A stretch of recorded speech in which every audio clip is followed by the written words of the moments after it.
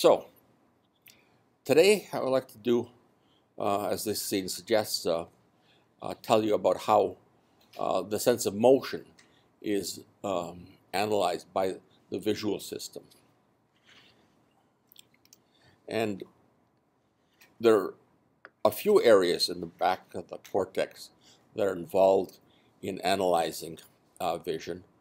Uh, but the, the probably most important part is located here. It's called the MT plus.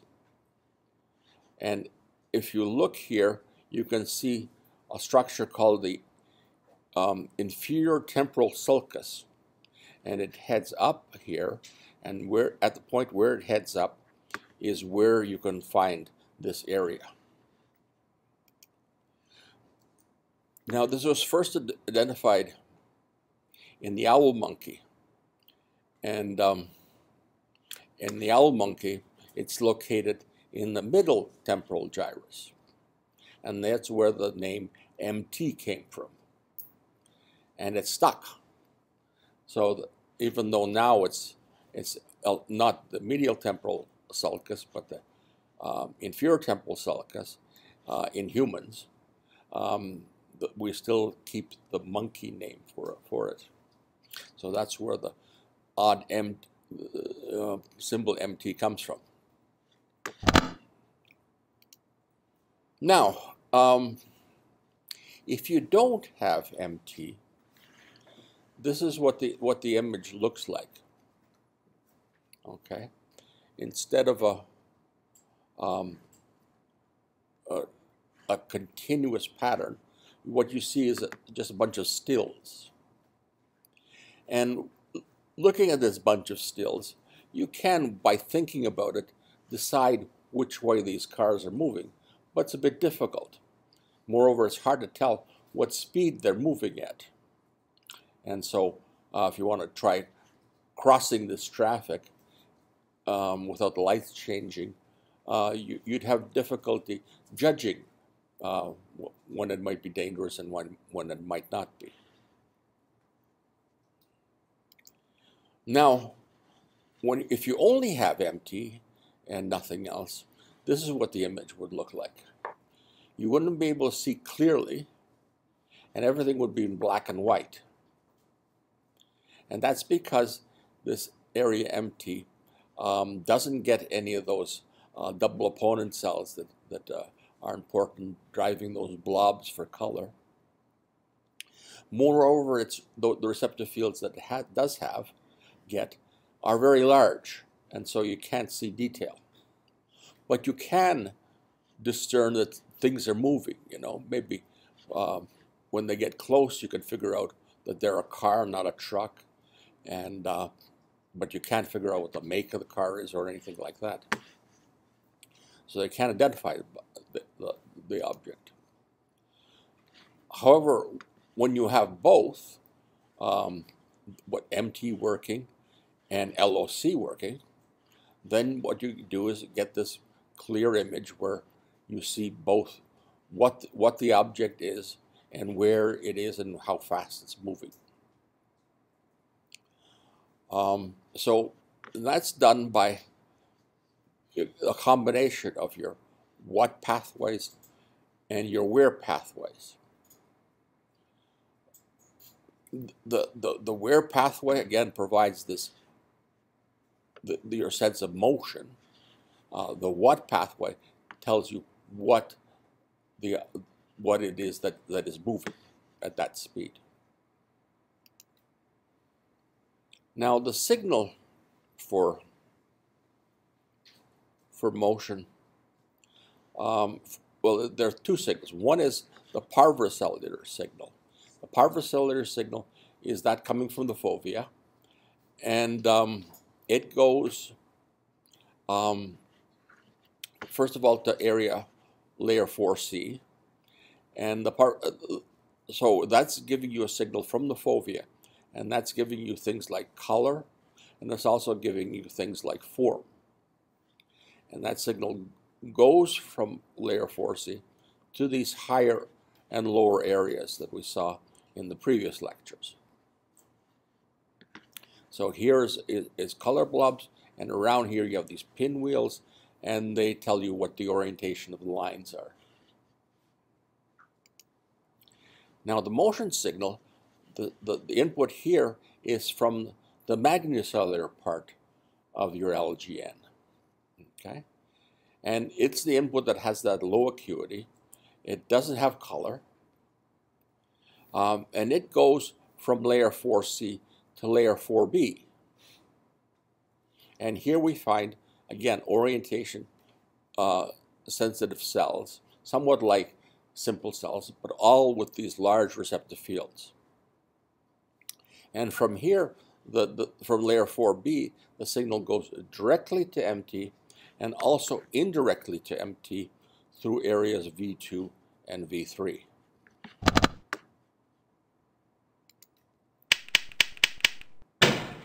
Now, what you saw there was uh, a light activating each of these receptors uh, one at a time, and then this cell firing.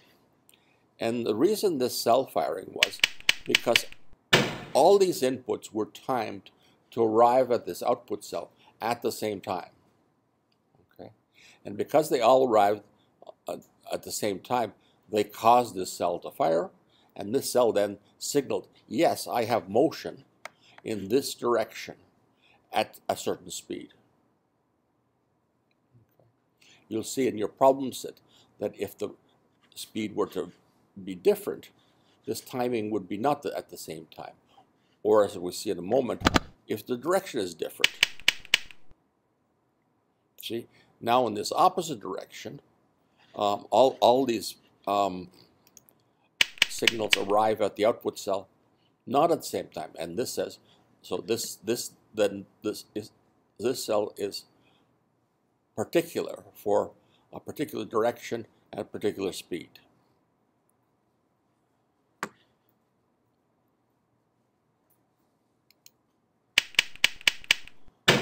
Now, in species like birds, you find these types of circuits all within the retina. So these are your rods and cones, and these are ganglion cells. But in, in other species like us, um, this, this circuitry occurs within your primary visual cortex area V1. So these aren't rods and cones, but layer 4C cells. Okay, so some of the characteristics of, of how, sensing motion. Now, if you look at this, you'd say, okay, this one here, that's moving down to the right. This one here is horizontally, and this one's moving uh, up to the, to, the, to the right, up and down to the right. Um, but if I get rid of the uh, black, you can see that this line is moving horizontally, this line is moving horizontally, and this line is moving horizontally. So somehow it is because we put this put the line behind this this um, uh, covering up the, the end of the line that we get this illusion. Why is that so? Well, just looking at this line, we really can't tell much about the direction that it's mo really moving. But so the brain does is make a best guess that somehow the, the, the, somehow it makes its best guess that this line is moving perpendicular to the line. Okay, and that's that's a good guess, and and and and and, and you can see how it might do that. Uh, one good guess is, is, is that moving perpendicular in line. And it does that by combining signals from these, these uh, simple cells, as we saw before, to make this complex cell. And these simple cells are each tuned to this particular orientation. And so only lines that are moving in this direction will activate that complex cell.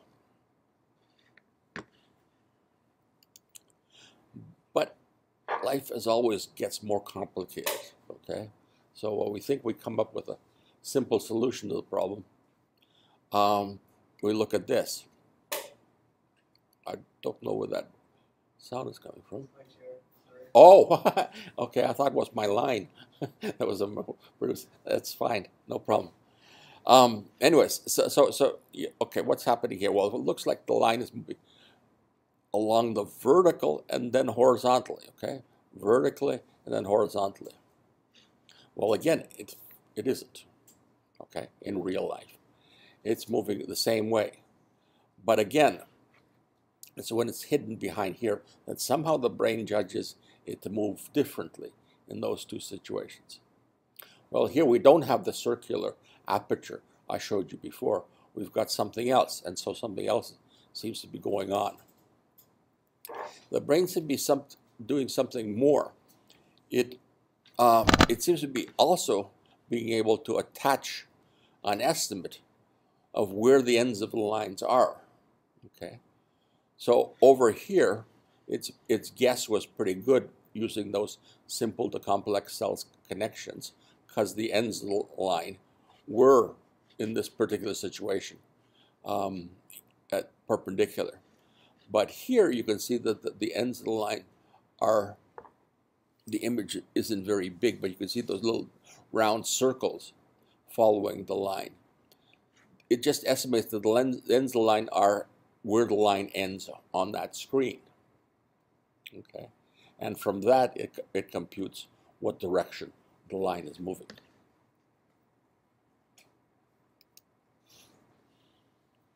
Now, so we, we the, the, the, the about 10, 15 years ago, they discovered from doing experiments with monkeys that uh, MT is the uh, the region that actually senses what your the direction um, of this perceived moment. We saw this line was moving in this particular direction in the pre in the previous case here. So we have this perceived motion, okay? So what you perceive may not be reality, but what you perceive is what MT senses. So your sense of perception is congruent with what MT is signaling. So how, how do they do these experiments? Well, they place electrodes in V1 and in MT. There, there's V1, the back brain, there's MT.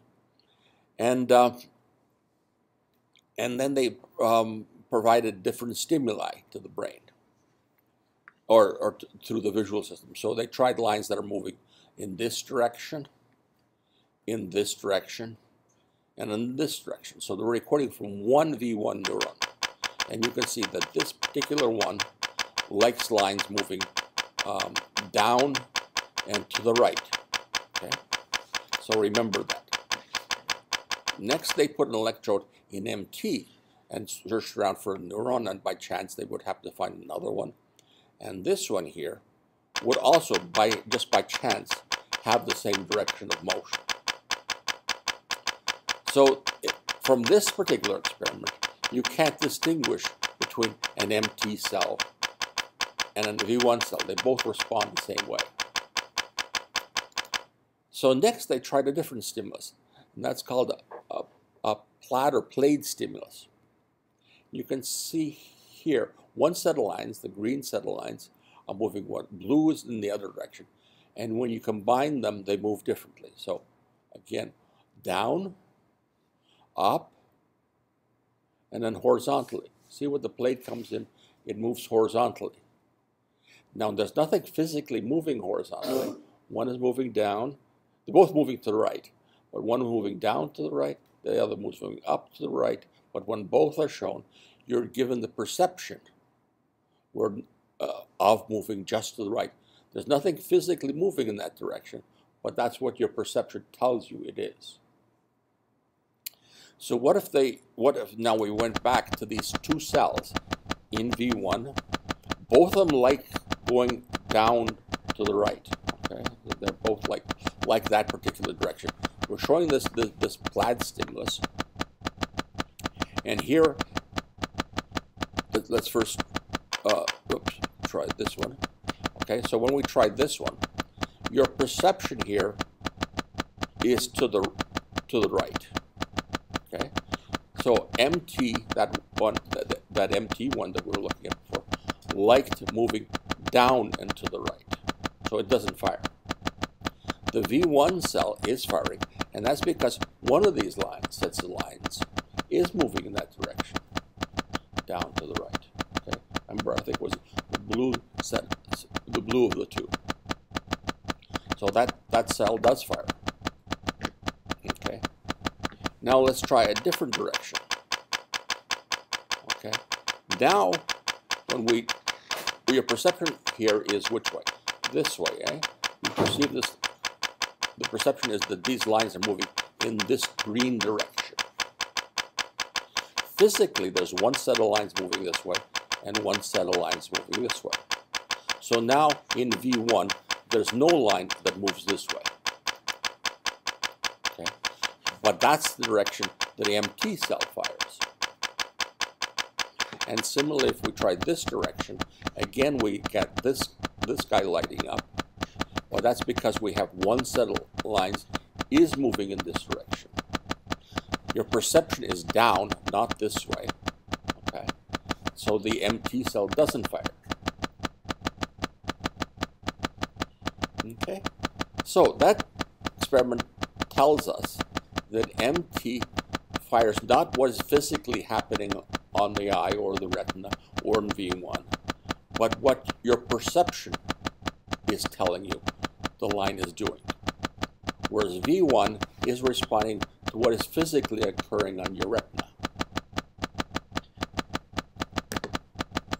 The other thing that, that, that uh, MT cells like is that you pay attention to the object that, that, that you're trying to determine direction and velocity from. Okay? So here there's, in this particular case, there's a single dot going back and forth on the eye. And this cell seems to like objects that are moving up. Okay? So you can see the cell is firing and then slows down. So it likes upward cell, upward motion. Now what we're going to do is switch our attention. We tell the, the, the subject, look at the, the, the certain color. In this case, it's, it's blue. Now it's green. So now it's green and the cell fires. Now it doesn't fire. Now the cell fires when the, the blue line is going up. But notice the green line that was firing before was going up. So the cell, even though there's a green line going up, the subject wasn't paying attention. It was paying attention to the blue um, dot, not line. Um, and it, uh, the activity shifted to the blue dot.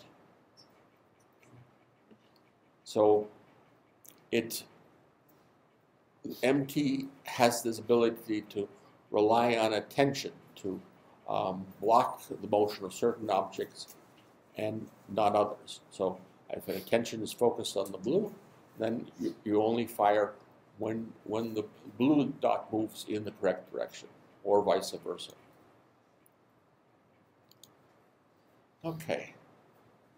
So MT is, is you can imagine, is an area that represents different parts of uh, V1 or the retina, similar to how uh, V1 represented uh, different parts of the retina. And each one is a little column, and that column represents a certain place on the retina. And this is an adjacent column, and that represents an adjacent place on the retina. If you take one of these columns and expand them, you get a figure like this. Okay.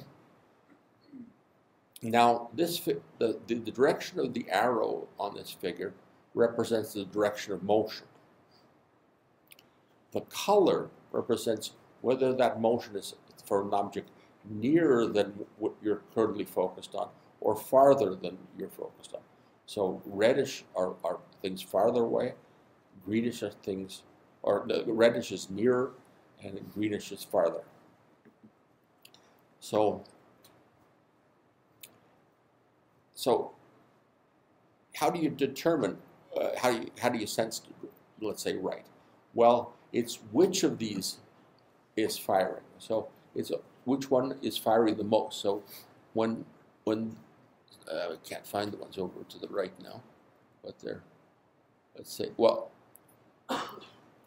whenever this one's firing, you sense the most, then you sense that the motion is to the left, and whenever this one's firing, motion is let's say down. Okay, so it's which of these is firing the most that determines um, the direction and depth in, in three dimensions of the, of the object. Now, from MT, information flows to an area called MST.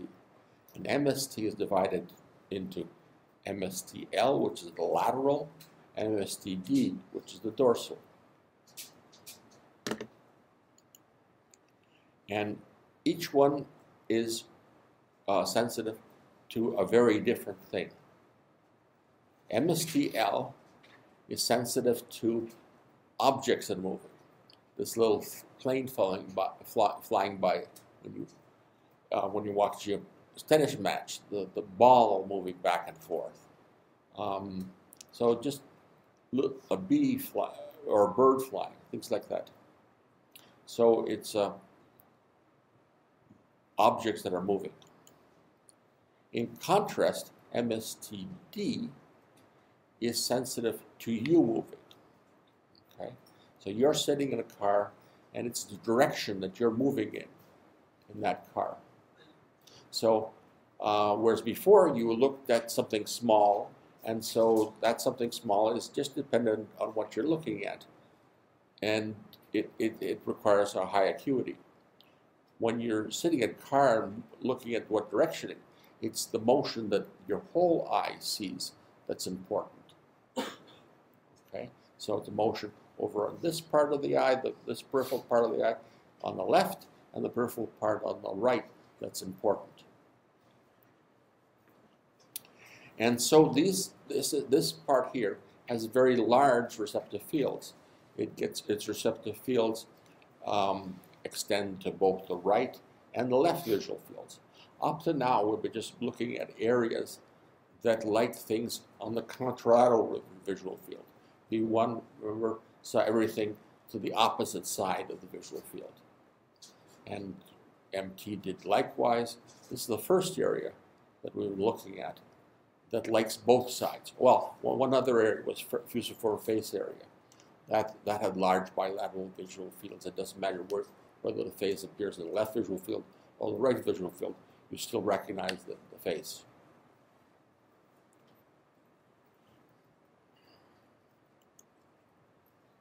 Okay, so this gives you a sort of um, optic flow or um, sensations of moving.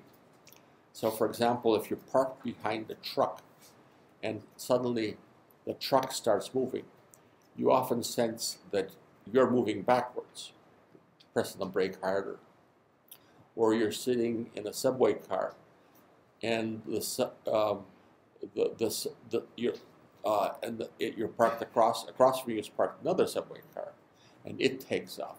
You often miss have the sensation that your subway car has suddenly started move. And again, you'd be look, looking at something here, and if you saw everything receding like like over here, you'd have a, um, a sensation of you moving backwards. If you, on the other hand, everything was expanding, you have a sensation of moving forward. Now, to do this moving forward, you have to have um, uh, these arrows on your left and right visual fields moving in opposite directions. Okay, that's how you sense moving forward. And that information, okay, goes from um, the the MT on one side and the MT on the other side, getting together in MSTD, giving you that combined signal, okay? converging onto a single cell in MT. And to the right, to the left, then tilting your head one way, tilting your head another. Each of these patterns, each of these motions, elicits a different combination of motion on your eye and you, there's different cells in MSTD that um, combine these motions in different ways. So see, it's the same arrow, but you combine them in different ways. You can then sense motion in different directions.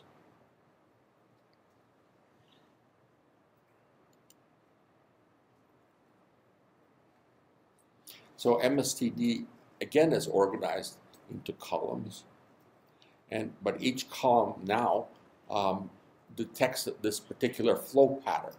So it'll be one cell, one group of cells that likes this flow pattern, another group of cells like this one, and so forth.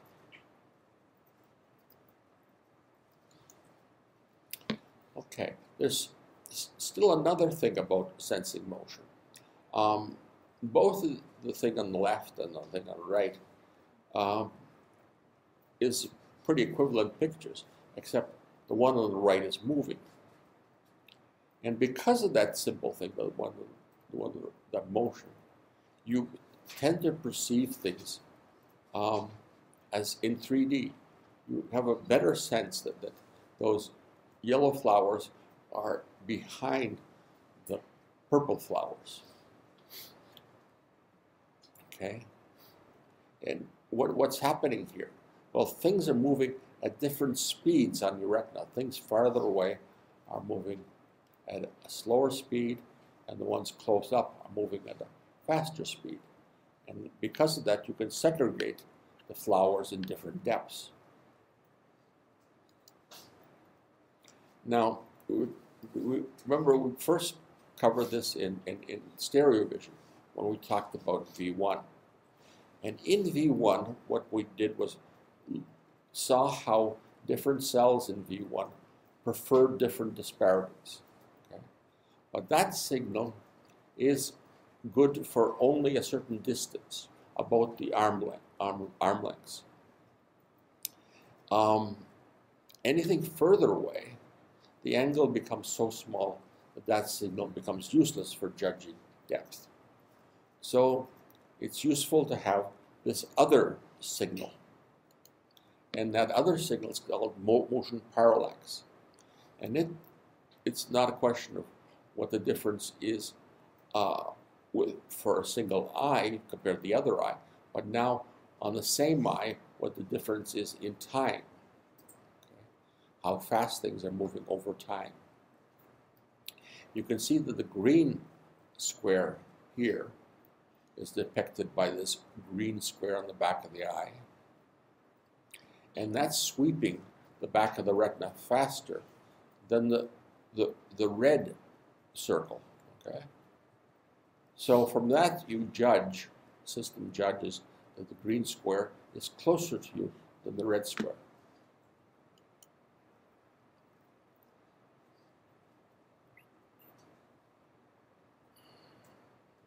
So so the objects themselves are, are coded in, in, in, the ventral what stream, but motion, the motion system coming from MT um, allows you to give them this depth attribute. Remember, there are some cells in MT that judge direction, and others were judging depth. So the parallax is one way of judging depth for things that are closer it's the disparity of the judge's depth. A complicating factor is that you can you can point your eye and pursue whatever object you point your eye at with eye movements. So this circle here is showing where you're looking at, okay, and what direction the motion is in that part that you're looking at. Well, also one thing is that uh, exactly where you're looking at is relatively still on your eye, and it's everything else that is moving. Okay. Here you're looking at something different, and that object is still, that particular flower is still, but everything else is moving relative to it. So it gives you uh, what, what, what, what's moving and what's still depends where you're looking. So here we are looking at, let's see, this green dot, green, green square. So you can see this green square is stationary on the back of the eye, and the red circle is moving. Here you're looking at the red circle, and that is now stationary in the eye, and that square is now moving. So the brain has to know not only how, how fast things are moving, but where, how fast your eyes are moving, has to put those two things together. And how it does that, where the signal for how much the eyes are moving comes from, we'll take in a moment. That signal of how fast the eyes are moving and how it determines um, uh, how that is used to determine uh, self motion. It's called corollary discharge. So an image moves on the eye for one of two reasons. One is that this object is moving, or because the eye is moving. Okay? You're either turning your eyes, or you're turning your head, or, or your body, or this object is far is really moving. And it's important to distinguish between the two. You know, it's important if this is getting bigger suddenly, is it because I'm it's coming towards me or I'm coming towards it? Now, this internal this this ability to figure out what what how much it's moving uses something called corollary discharge, and this was uh, uh, something that was proposed by a fellow called Helmholtz, who was a physician a, uh, a physicist and lived several hundred years ago. And he suggested how you distinguish the, between uh, these two situations. He proposed that the retinal slip on the eye is combined with an internal sense of motion. And this internal sense is what we call discharge. And it's used to improve your sense of motion. So what the brain does is whenever you, send a signal to move the eye, a copy of it, the corollary discharge, is sent to a comparator, which compares what's coming from the retina, the retinal slip, and compares those two, and that gives you the perceived motion of the object. So this is what the object motion is. This is what the motion on the eye is. And if this comparator is correct, it is what the object is actually doing, not what you're seeing on the retina. Okay? So if everything works, you're actually figuring out what, what, what the lion is doing. So, for example, here we can see that something's moving on the, on, on the retina but we're also moving the eye. And we compare the two, we discover that the, the lion is still, okay? because these two signals cancel out.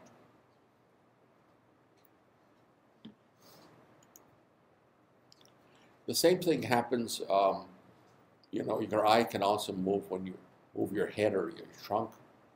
And um, when we walk forward, the eye is carried forward.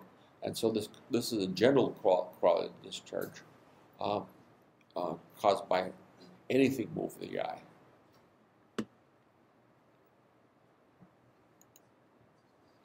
Okay, this motion after effect.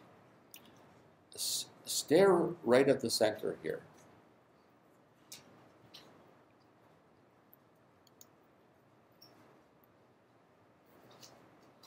Somebody's not staring.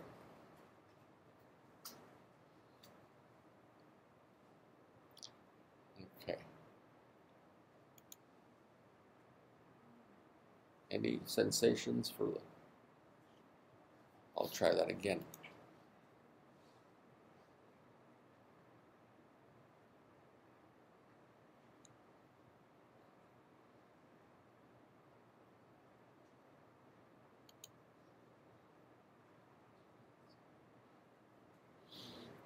was getting better. Okay, We'll try that again. Look, look carefully. When, when I'm done, when I click this thing off, look at your hand, okay?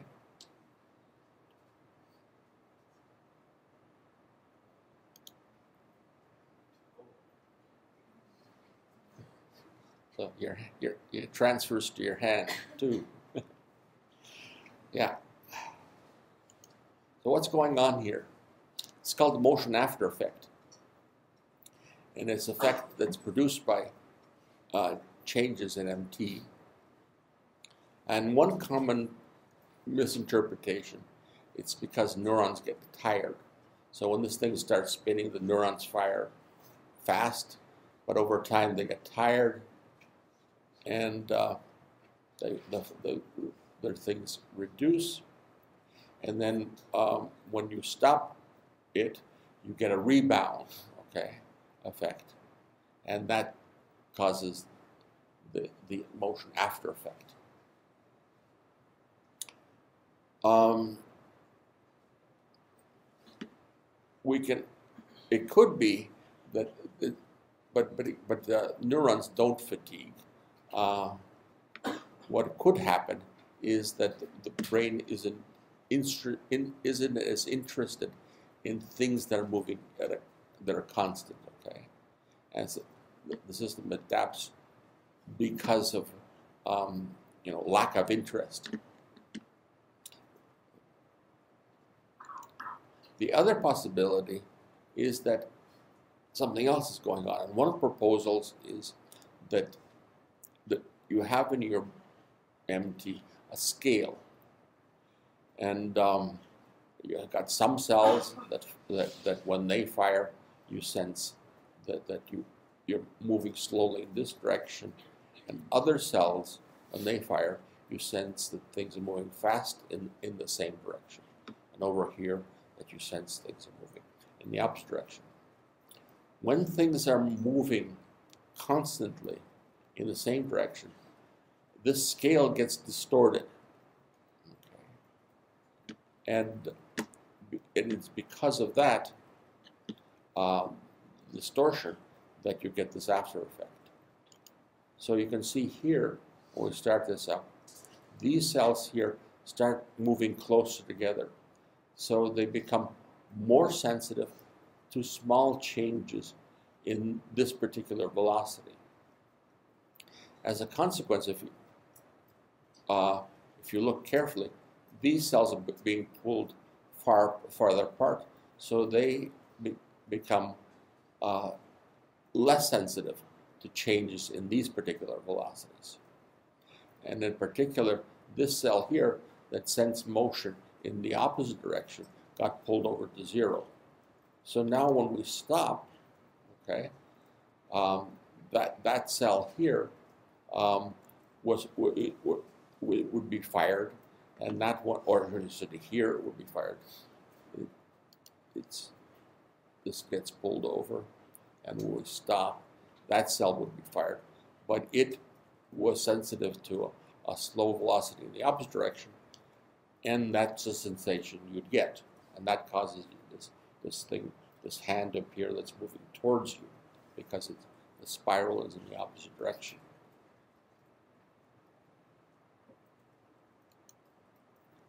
So let's let's follow this this uh, this one here, this this one that senses motion, a slow speed in the opposite direction. So we, we pull it over to zero, and then when it stops, this this this stationary object activates this cell, but it was what sensed motion in the opposite direction, not this motion. So it's a, a, question of changing the scale. And the purpose is be able to detect small changes here. So you're driving, let's say, uh, down to Toronto. You're always driving at the same speed. So you get this crowding at this speed so you can detect small changes in that speed.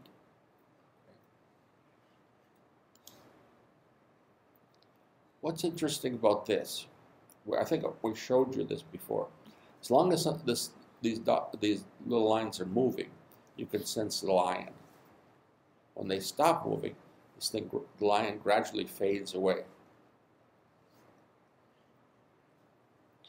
Well, that's interesting because here we have MT telling LOC something, okay?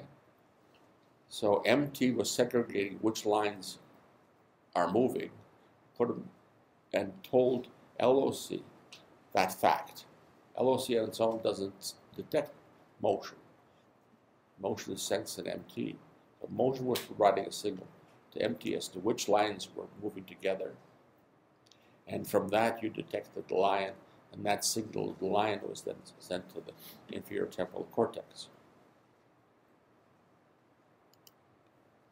Now, what's interesting here, you, you sense that this white square is moving back and forth. Okay? But actually, there's, there's nothing moving here.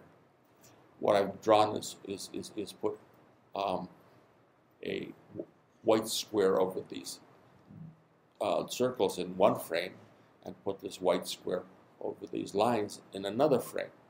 And I'm simply going from frame to frame there is no red circle, white, uh, white, white, white square in any case. Uh, what I've done here is is is uh, uh, I this this white square is is caused by illusion of this these corners becoming white, and it's um, your your the cells in your V2 that are putting these illusionary lines and images of, a square together, and the same thing's happening over here. You're blocking out certain portions of the line and these illusionary um, lines put this square together. So you're using that those pathways um, to be able to recognize this object. But at the same time, so these two squares are being coded in MT, and MT, uh, uh not M, those those two squares have been coded in LOC, and it's the signal to MT that's providing you with a sense of motion. Okay. So from V1, the cells in V2 and so forth start putting together these illusions of those squares, and it's those two, the fact that the square is in one position at one time, another position at another time, that's that signal sent to MT, and that's where your sense of motion again comes from.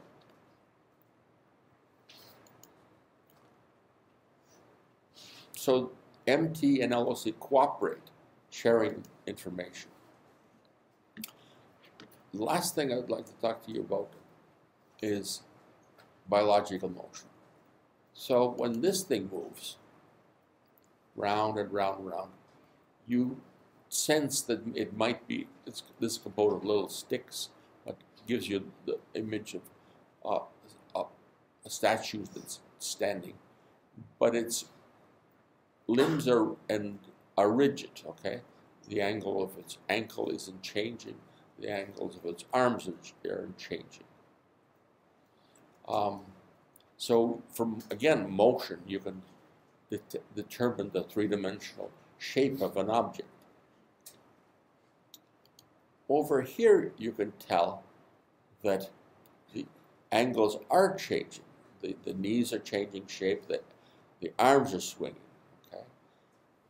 That's more complicated than this. Okay?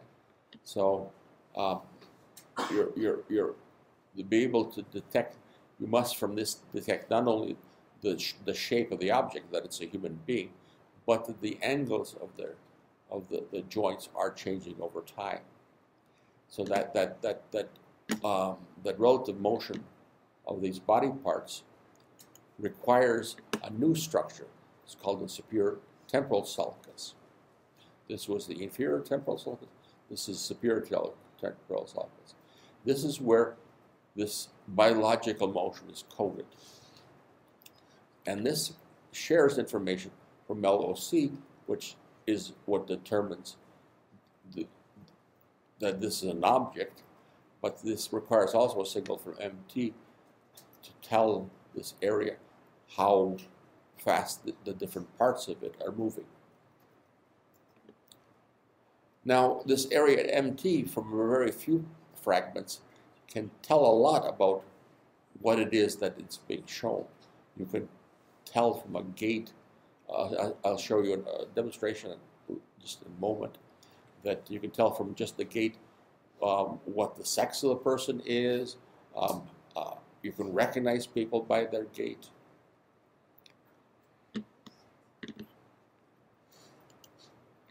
Now, so just to summarize, um, this area that we've been looking at, MT, has several interesting properties. First of all, it gets its information. At, I- oh, it was a question.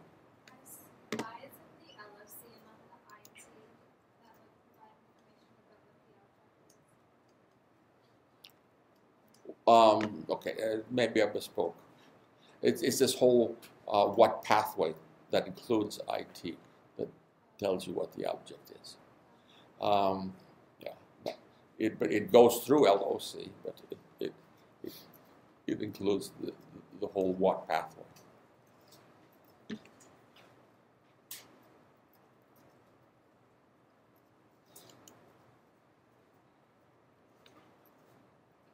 So we, MT, as we first spoke, it first spoke about it in the introduction, gets its information from the parvocellular um, part of um, the, retina and from the uh, parvocellular part of the LGN. And from, so from that, you might think it's part of this where stream. Well, several people have proposed that it's in fact a third stream, and they've called it the when stream. And it in turn feeds the where and the what.